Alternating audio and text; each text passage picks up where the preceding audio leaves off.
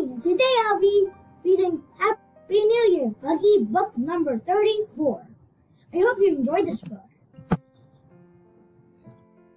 Since it's getting close to New Year of 2023.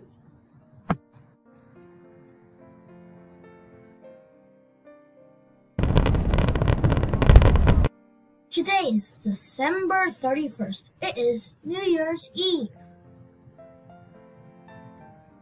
Puggie is excited because Blossom is coming over to his doghouse for a New Year's Eve party. It is going to be so much fun.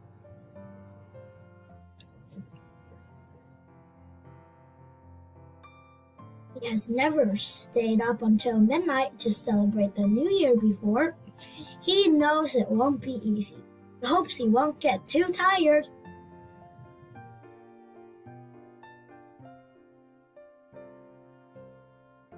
It's time for Puggie to get ready for the party. He hangs fun decorations and balloons. He loves his new red bow tie. He also puts out snacks and apple cider. Apple cider is Blossom's favorite.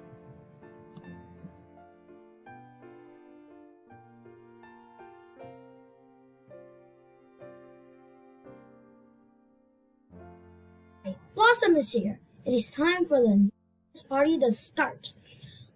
Puggie and Blossom sit at the table to eat their snacks and drink their apple cider. Yum!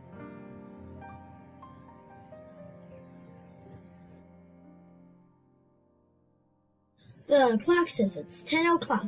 Puggie is getting very sleepy.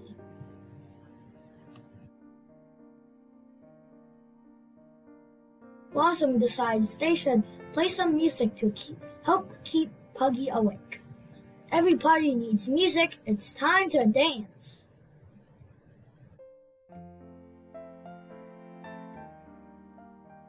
The clock says it's now 11 o'clock. Now, Blossom is getting very sleepy. Puggie decides that they should play a game. Trickers is so much fun. That will keep them both awake for sure. Blossom goes first because she is the guest.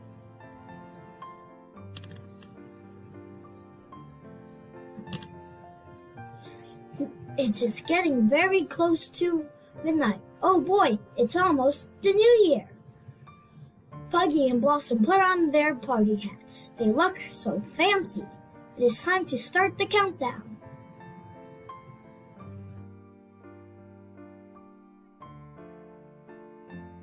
Ten, nine, eight, seven, six, five, four, three, two, one.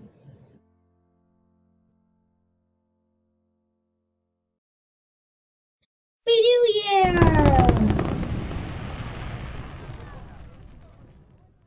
And Blossom throw confetti in the air. They blow their party horns and dance.